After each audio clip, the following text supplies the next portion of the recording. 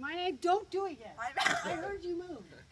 Okay, my name's Téa, and I, I. I, I accept the challenge, and I'm, I'm doing it in honor of my friend Keith Leduc. And we remember you, Keith, always. And I nominate, oh, God, I can't even think anymore, Miller Duchovny, Eleanor Che, and Morgan Freeman. Can I, is this happening now? When is it happening? Is it too heavy? Don't hit me on the head. oh my